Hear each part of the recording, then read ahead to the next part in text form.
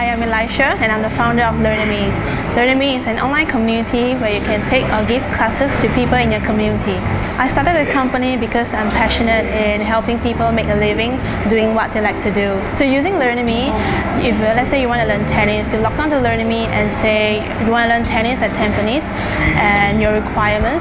And this will be posted to anyone who can teach tennis who will then respond to your request by making you an offer. You pick the instructor that you really want to learn from and you just book and pay on Learnemy. I went full-time into Learnemy in July 2011 and it was only last April that I finally launched it. It has been a really long journey doing it alone, especially when I was a fresh grad and I had no programming skills. Since last April to date, we have about close to 100 instructors teaching various topics like programming, sports and entrepreneurship. We have also matched 400 students. Right now we see about 80 to 100 students per month. So the first thing I want to change is the education in Singapore, or much rather the perception of education.